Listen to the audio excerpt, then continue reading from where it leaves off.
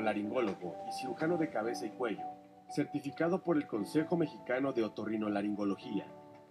Actualmente es médico adscrito al Departamento de Otorrinolaringología del Hospital Ángeles Metropolitano y del Centro Médico ABC Campus Observatorio. Exsecretario de la Sociedad Mexicana de Otorrinolaringología y Cirugía de Cabeza y Cuello AC. Integrante de la Junta de Gobierno del Consejo Mexicano de Otorrinolaringología y Cirugía de Cabeza y Cuello.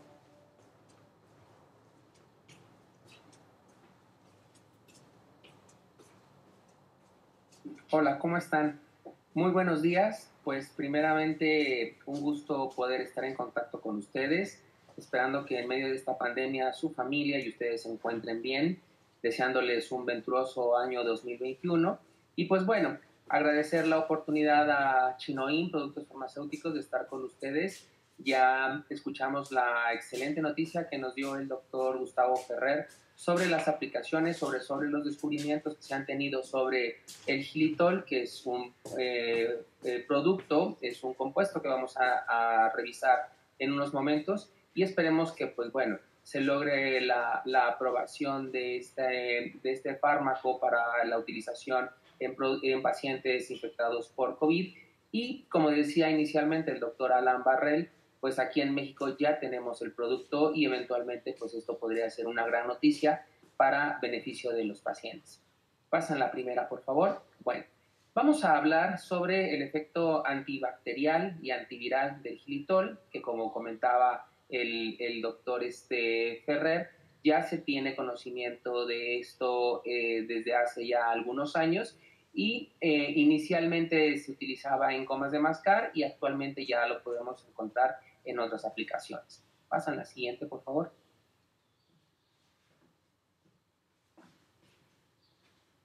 Eh, la siguiente. Bueno, para empezar vamos a hablar de un concepto. Eh, finalmente, tanto las bacterias como los virus, para poder eh, generar el proceso de infección, pues tienen que entrar a un organismo y este primer paso es lo que vamos a denominar como adherencia. Aquí, bueno, en la, en la diapositiva viene como adherencia bacteriana, pero en general, tanto los virus como las bacterias primero se tienen que adherir a la cubierta, a la superficie, en este caso del aparato respiratorio, para poder infectar y penetrar a las células del ser humano. Entonces, bueno, ahí en la diapositiva viene mencionado que las infecciones son el resultado de la interacción de las capacidades de virulencia de las bacterias o virus y una serie de factores que suceden en ese medio que permiten que las defensas del, del, huésped no sean capaces de detener esta penetración y que puedan este, infectar estos, estos gérmenes, ¿no? La posibilidad de una colonización y posterior infección es el primer momento que sucede, pero para esto las bacterias y los virus han desarrollado unas proteínas que vamos a denominar aquí adhesinas. Imagínense que son como unas patitas que tienen los virus o las bacterias y que les van a permitir pegarse a las células del ser humano y poderlas infectar. Esto es un detalle muy importante porque precisamente el xilitol lo que va a afectar es la adherencia de este tipo de gérmenes a nuestro organismo. Y pues estas adhesinas se codifican o se generan o la, la información viene contenida en el núcleo de las bacterias, eh, donde hay el material genético que nos va a permitir a la bacteria sintetizar estas proteínas que van a formar esas patitas, ¿no? Y además, esta producción pues genera energía, energía que va a consumir la bacteria y que energía que va a tener que agarrar de algún lado, se va a tener que este, generar un aporte de energía a la bacteria, generalmente es a través de los azúcares o de los carbohidratos como generan esta energía. Entonces, aquí quiero enfatizar dos cosas importantes. Uno, que es la adherencia del virus o de la bacteria y que además la producción de estas bacterias requiere energía, energía que va a ser generada por el consumo de carbohidratos a través de la bacteria o del virus. Quiero que queden en su mente estos dos conceptos que son muy importantes. Me pasan la siguiente, por favor. Y bueno, ahora las bacterias, eh, me pasan la siguiente. No crean que nada más llega una bacteria y, este, y con eso es suficiente. Mencionaba el doctor Ferrer que hay una cosa que se llama carga viral, es decir, la cantidad de gérmenes que se encuentran en un momento dado y que por, precisamente por esa cantidad son eh, capaces de generar la infección. En el caso de los virus hablamos de carga viral, pero en el caso particular de las bacterias hablamos de colonias. Estas bacterias cuando llegan y que se instalan una vez en la mucosa del aparato respiratorio van a empezar a reproducirse y van a generar colonias. A estas colonias, cuando se juntan demasiadas bacterias, se denominan como biofilms. Y lo que ustedes están viendo en la, eh, diapositiva es precisamente las colonias o el biofilm que ha generado una bacteria que se llama Streptococcus pneumonia, que es la más importante que genera infecciones del aparato respiratorio. La siguiente, por favor.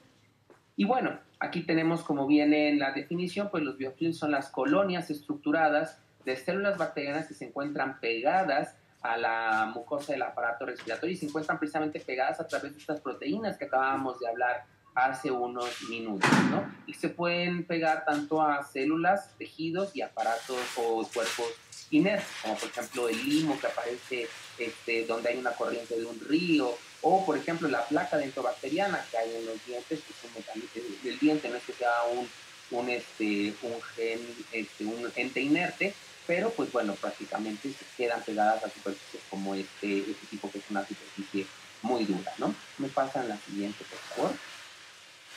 Es otro ejemplo, este en, este caso es el del estafilococo dorado, que también genera muchas infecciones en el aparato respiratorio. La siguiente, por favor. Y bueno, se estima que eh, aproximadamente todas las bacterias que viven en el cuerpo, entre el 80 al 85%, viven a través de biomasas, de biofilms, eh, también este, conocidos como, em, como colonias que se adhieren a, la, a esta superficie y el resto se encuentra en una forma flotante, que es la que conocemos a través de los estudios de laboratorio. ¿no? Estas colonias permiten la supervivencia de estas bacterias a todos los medios que el organismo le va a presentar, que básicamente es el aparato inmunológico. Me pasen la siguiente, por favor. Y bueno, estos biofilms, eh, me pasas la siguiente. Esta diapositiva viene un poquito más ejemplificada en el siguiente esquema que vamos a ver. Me pasan la siguiente, por favor. Y bueno, en este caso, ¿qué es lo que va a pasar? Un biofilm lo que va a hacer es que como se van a juntar varias bacterias, se van a hacer mucho más resistentes al efecto de los antibióticos. El antibiótico no va a poder penetrar de forma adecuada y además, cuando son muchas bacterias, ahora sí que el, la, la, la unión hace la fuerza, pues tantas bacterias lo que van a generar es que el efecto antibiótico no pueda ser llevado a cabo cuando se, que juntan tantas bacterias y además afectan también la capacidad del organismo para poderse defender, ¿no? Entonces es importante poder tener un arma para eliminar estos biofilms y poder atacar a estas bacterias. Me pasas la, la siguiente. Aquí en este esquema es como ustedes ven cómo se va formando un biofilm, generalmente en el borde o en el cuadrante inferior de su lado izquierdo van a ver un par de bacterias verdes, las cuales ahí se empiezan a eh, juntar y empiezan a generar una matriz como una gelatina. Y en esta gelatina pueden llegar otras bacterias y evidentemente fortalecer al biofilm. Y esto se vuelve un círculo vicioso y se pueden generar más colonias de bacterias. ¿Me pasas la siguiente, por favor? Y bueno, estas bacterias además elaboran señales para atraer a otras bacterias y que esto se vaya haciendo mucho más grande. Evidentemente, si debilitamos el biofilm, pues esas, esas señalizaciones también van a disminuir me pasas la siguiente. Y pues bueno, ¿cuáles son los enfoques novedosos o en dónde entra el xilitol? Pues bueno, básicamente en disminuir la fijación a las superficies de las células mediante uso de agentes bloqueadores o agentes que sean necesarios para la adhesión de las bacterias. Me pasas la siguiente, por favor. Y bueno, aquí es donde vamos a hablar entonces un poquito del xilitol. El xilitol, me pasas la siguiente, es un azúcar, pero químicamente los azúcares se conocen como alcoholes. Entonces, es un alcohol natural de azúcar que generalmente lo encontramos en jarabe o en gomas de mascar. Y inicialmente se encontró su utilidad para disminuir la formación de caries porque disminuyen la formación de la placa dentobacteriana. Me pasas la siguiente, que fue el primer efecto importante, ¿no? Además, pues el se encontró que era un edulcorante de buen sabor, lo, que, lo cual lo permitía utilizar, por ejemplo, en los chicles se encuentran normalmente en frutas y vegetales, pero en concentraciones eh, mínimas, sobre todo en las frutas que son más fibrosas, por ejemplo, como la caña, es donde nosotros lo podemos llegar a encontrar, o en algunos tipos de, de maderas. Aporta muy pocas calorías, porque lo que incluso se utiliza en la dieta de algunos pacientes con diabetes. Me pasa hacia la siguiente, por favor. Aquí tenemos la fórmula estructural, incluso en el dibujito se ve cómo previene de la, de la caña. ¿Me puedes pasar la siguiente, por favor? Y bueno, en 1986 precisamente la FDA encontró esta relación que existe de beneficio entre el xilitol y los seres humanos y permitió o aprobó su uso en diversos compuestos dietéticos como gomas de mascar, jarabes, especiales sobre todo para pacientes diabéticos, ¿no? Sin embargo, lo que también se encontró es que había una limitante porque tenía cierto efecto osmótico y producía diarrea. Entonces, básicamente se limitó su uso a eh, su uso dental, básicamente, ya sea a través de aplicación directa o con el uso de gomas de mascar, y lo cual también posteriormente fue aprobado por la Organización Mundial de la Salud y se ha encontrado que su uso ha disminuido de forma importante la presencia de caries. Me pasas la siguiente, por favor. Y este, también se encontró que podía tener un efecto directamente sobre una bacteria que se llama Streptococcus mutans, que es el que produce la placa dentobacteriana. Ese Streptococcus pues es familiar del Streptococcus pyogenes, que es el que afecta el aparato respiratorio, y empezaron a hacer estudios para ver cómo se podría replicar esto en esta bacteria. Pasas la. Entonces, bueno, se encontró eh, que bueno, todas estas eh, ventajas que tiene el aparato, bueno, la aplicación en chicles porque disminuía la gingivitis, eh, mejoraba la unión del calcio y disminuía la presencia de esta bacteria. Me pasas la siguiente, esos fueron los primeros detalles que se encontraron. La siguiente, en el, en, el uso de chicles. En el aparato respiratorio se ha encontrado que su uso puede disminuir las infecciones rinosinusales en un 50% cuando se aplica de forma directa. Y lo que va a pasar es que el gilitol reduce la adherencia de estos agentes infecciosos sobre la pared de la mucosa. Ahorita les voy a explicar cómo, pero adelantándome un poquito, decía yo en el principio de la plática que estos gérmenes van a utilizar azúcar, azúcar para generar energía.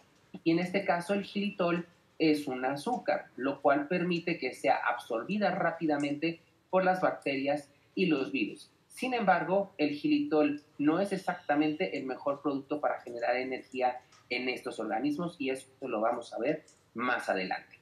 ¿Me pasas la siguiente? Aquí en este caso, pues tenemos los estudios que se utilizaron o que se hicieron en el streptococo neumonía, que es el que infecta el aparato respiratorio, se encontró que había una disminución en su crecimiento entre el 35 al 72%. Si bien es cierto que el gilitol no va a eliminar a la bacteria, la disminución en cuanto a su volumen permite que el uso de antibióticos sea mucho más útil. Entonces estamos hablando de que su aplicación es una aplicación que denominamos adyuvante. Y oh sorpresa, se encontró que este efecto también lo podíamos replicar en otras bacterias, como la, bacteria del Hemophilus influenza y la bacteria de la Pseudomonas aeruginosa. ¿Me pasas la siguiente? Eh, ¿Qué pasa con el estreptococo? ¿Me pasas la siguiente, por favor? Bueno, el estreptococo no vamos a ahondar en, en, este tipo de detalles, pero solamente para que ustedes lo conozcan, es una bacteria gran positiva, es la que representa casi el 80 a 90% de todas las infecciones bacterianas del aparato respiratorio. Generalmente el 60% de la población ya tiene la bacteria y generalmente las alteraciones en el aparato inmunológico son las que permiten que esta bacteria se pueda reproducir y su principal virulencia se encuentra, o su principal factor de adherencia y de daño se encuentra precisamente en la pared de la célula. ¿Me pasas la siguiente? Tenemos un dibujo del estreptococo. ¿Me pasas la siguiente, por favor?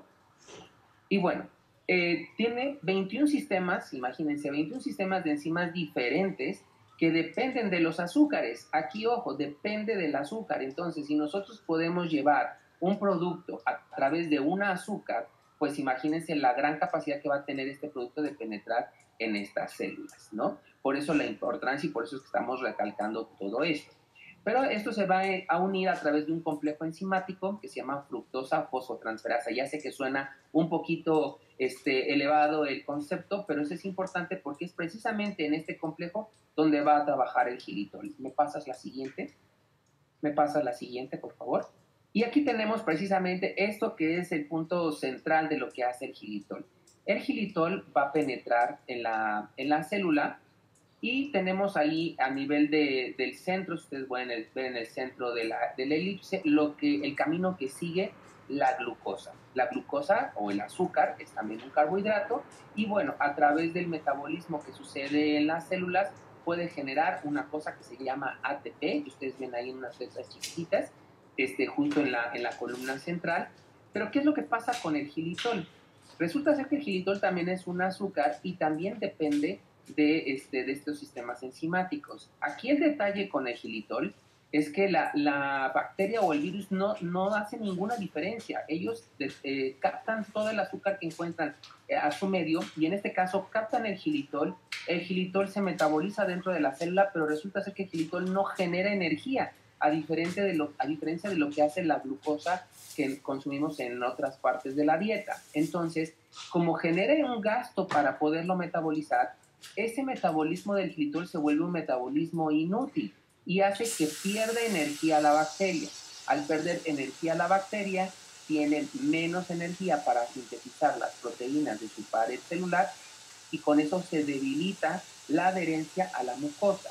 Entonces, lo que hace el xilitol es que engaña a la bacteria, hace que gaste energía, la debilita y con eso es mucho más fácil poderla atacar, ya sea por el mecanismo, los mecanismos de defensa del huésped o bien por los antibióticos me pasas la siguiente, por favor.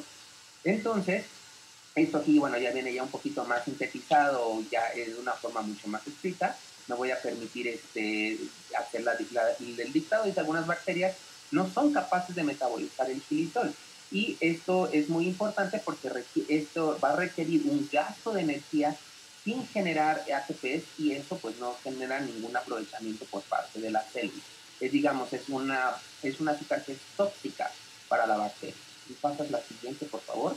Y pues bueno, esto que es lo que va a generar que esta toxicidad inhiba el crecimiento de la bacteria, disminuye su tiempo de vida, disminuye su agresividad y, y todos los demás este, efectos que vienen ahí mencionados. Pero quizá esto es lo más importante. Me pasan la siguiente, por favor.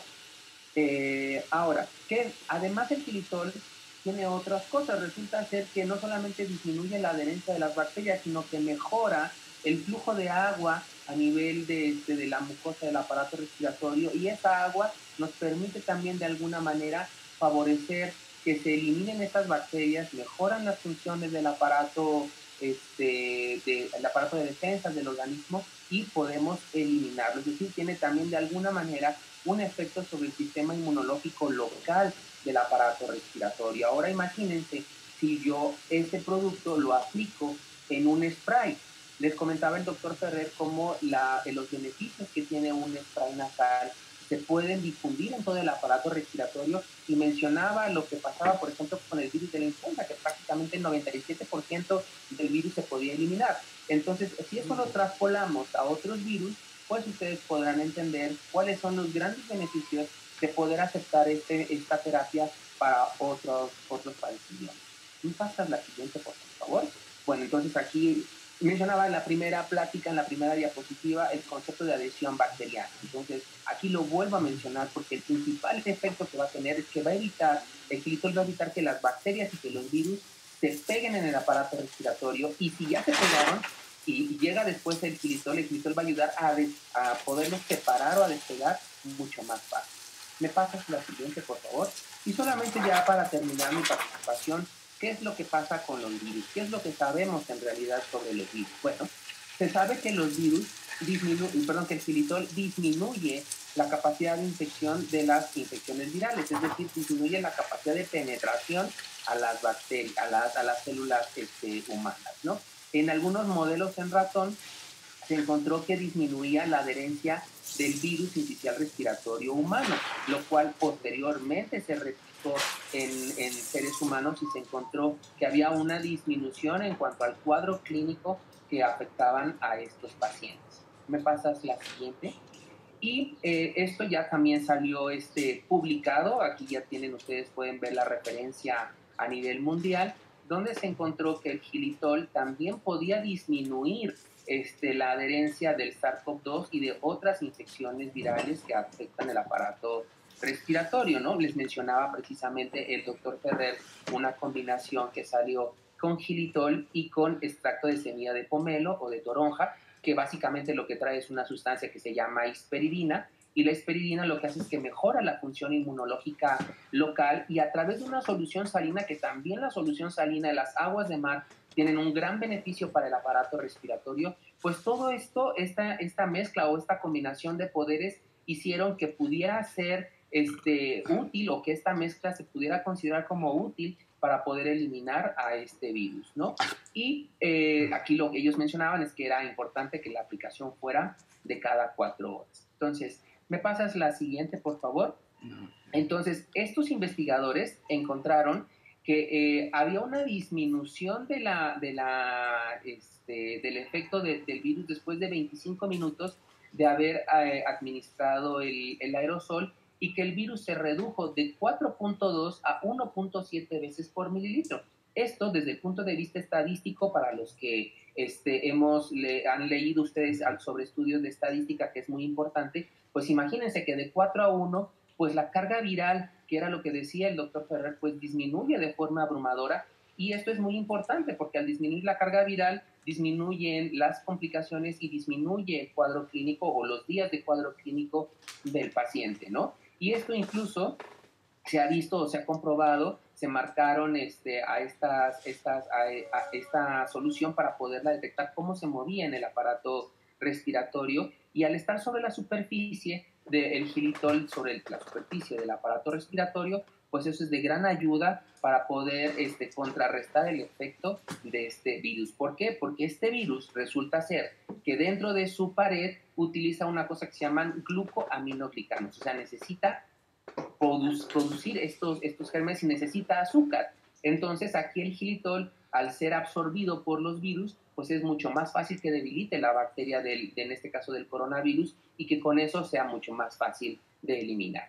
Y bueno, me parece que esta es la, la última, solamente mencionar que, este, bueno, así claro, aquí vienen las referencias bibliográficas y están publicadas y eh, las pueden ustedes encontrar en, la, en el internet, eh, las pueden bajar, son prácticamente pues del año pasado. Me pasan la siguiente, por favor.